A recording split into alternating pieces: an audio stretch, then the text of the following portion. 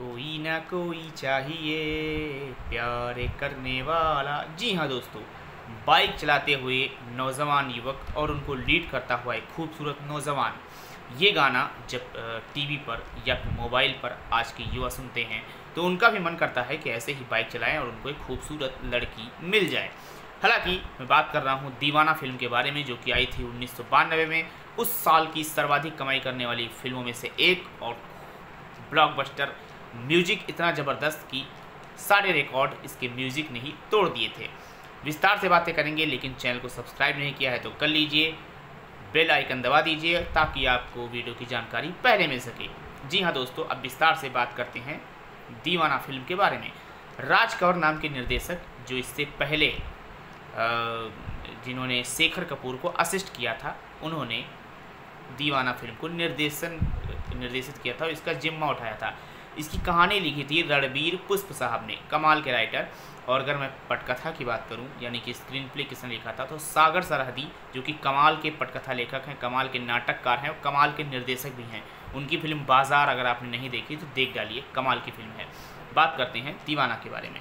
तो जी हाँ दोस्तों, दीवाना पे नब्बे के दशक में जब इसका काम पूरा हो गया तो रणवीर पुष्प जी ने इसके प्रोड्यूसर गुड्डू धनोवा को इसकी स्क्रिप्ट दिखाई, उन्होंने फ़िल्म को डन कर दिया।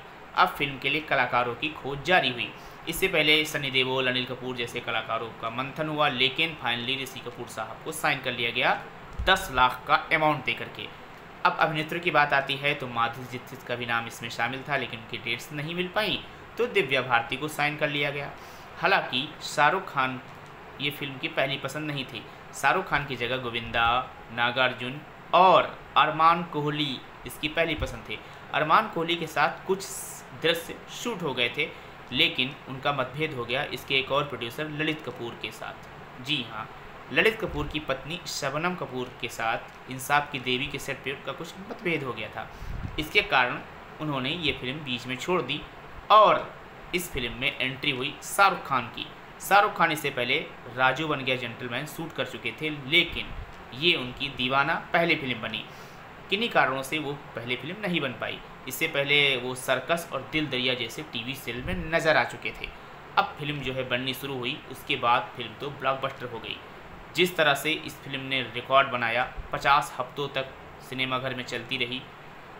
आप इसको गोल्डन जुबली की श्रेणी में रख सकते हैं और कमाल की ऐसी फ़िल्म की इसके गाने कुल मिलाकर के सात गाने थे, छियालीस दशमलव छियालीस दशमलव पाँच मिनट की अवधि वाले गाने, जिसमें मिस्टर खान, यानी कि शाहरुख खान के लिए विनोद राठौर ने आवाज़ दी और वहीं पर ऋषि कपूर साहब के लिए कुमार सानू ने आवाज़ दी। कुमार सानू और विनोद राठौर के अलावा इसमें अलका याग्निक और साधना सरगम जी की आवाज़ भी आपको सुनाई देगी। पायलिया सांग हो, चाहे तेरे दर्द से दिल आबाद रहा, ये सारे गाने खूब ब्लॉकबस्टर हुए विनोद राठौर का गाया हुआ गाना और शाहरुख खान के ऊपर फिल्माया गया गाना, जो कि मुंबई में मरीन ड्राइव पे घूमते हैं अपनी बाइक लेकर के। ये गाना खूब ब्लॉकबस्टर हुआ, खूब चार्ट बस्टर हुआ और इतना ज़्यादा पॉपुलर हुआ कि पूछिए मत। आज भी युवा इस पर बाइक पे लेके खूब रील बनाते हैं। विनोद राठौर ने इसको गाया था शाहरुख खान साहब के लिए और उम्दा गाना, एकदम ज़बरदस्त। अगर मैं इसकी शूटिंग लोकेशन की बात करूँ तो ऊटी झील में इसकी शूटिंग हुई। और ऊटी का बोटेनिकल गार्डन इसके लिए पसंदीदा जगह बना। वहाँ पे कई फ़िल्मों के गानों की शूटिंग हो चुकी है, कई फ़िल्मों की शूटिंग हो चुकी है। तो शाहरुख खान की इस फ़िल्म की भी शूटिंग वहाँ पे हुई थी। कुछ हिस्से वहाँ फिल्माए गए थे। बाकी का हिस्सा इसका मुंबई में शूट हुआ। अगर मैं इसके प्रोड्यूसर्स की बात करूँ तो गुड्डू धनोवा के साथ ललित कपूर ने भी इसको प्रोड्यूस किया था। जी हाँ दोस्तों, जिनका पहले अभी मैंने ज़िक्र किया। अगर मैं फ़िल्म के कलाकारों की बात करूँ तो नज़र आए ऋषि कपूर साहब, रवि के रोल में, दिव्या भारती नज़र आई काजल के रोल में, इसके अलावा अमरीश पुरी, नरेंद्र नरेंद्र के रोल में नज़र आए, इसके अलावा शाहरुख खान जो है, वो राजा के रोल में नज़र आए आलोक नाथ नज़र आए, सुषमा सेठ जो रवि की माता जी यानी ऋषि कपूर की माता जी का रोल उन्होंने प्ले किया था, वो नज़र आई, और मोहिनीस बहल का स्पेशल अपीरेंस में रहता है। तो आप इस फ़िल्म को देख सकते हैं यूट्यूब पे देख सकते हैं अमेज़न प्राइम पे ये फ़िल्म उपलब्ध है, आपको मिल जाएगी अच्छे प्रिंट के साथ। जी हाँ दोस्तों म्यूज़िक डायरेक्टर की बात करें तो नदीम सरवड़ का म्यूज़िक और समीर के लिखे गाने खूब पसंद किए गए और तकरीबन 70 से 80 लाख प्रतियाँ उन्नीस सौ बानवे में इसकी बिक चुकी थी, इसके एल्बम की बिक चुकी थी और उस साल का सबसे ज़्यादा बिकने वाला एल्बम भी ये बना था।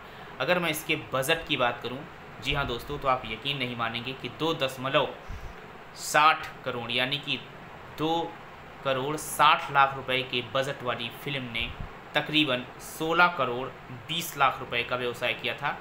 जी हाँ दोस्तों, दो करोड़ साठ लाख रुपए में बनने वाली फ़िल्म ने सोलह दशमलव बीस, यानी सोलह करोड़ बीस लाख का व्यवसाय किया था। ये उन्नीस सौ बानबे की सबसे ज़्यादा कमाई करने वाली दूसरी फ़िल्म थी। इससे पहले बेटा नाम की फ़िल्म ने तेईस करोड़ पचास लाख रुपए छाप लिए थे, जो अनिल कपूर और माधुरी दीक्षित वाली है। तो ये हमने इसके कुछ फैक्ट्स आपके सामने रखे। वीडियो अगर पसंद आया हो तो लाइक कीजिएगा सब्सक्राइब कीजिएगा, अगर शाहरुख खान साहब के फ़ैन हैं। बाकी इसके गाना, इसके जितने भी गाने हैं, तेरे दर्द से दिल आबाद रहा और सोचेंगे तुम्हें, और इसके अलावा तेरी उम्मीद, तेरा इंतज़ार करते हैं, हम तो सनम से प्यार करते हैं। ये सब गाने खूब ज़्यादा सुने जाते हैं, पसंद किए जाते हैं पॉपुलर कल्चर में। चैनल पर नए हैं तो फिर से एक बार कहूँगा, सब्सक्राइब कर लीजिए, वीडियो को पूरा देखिए। मिलते हैं अगले वीडियो में। नमस्ते, जय हिंद।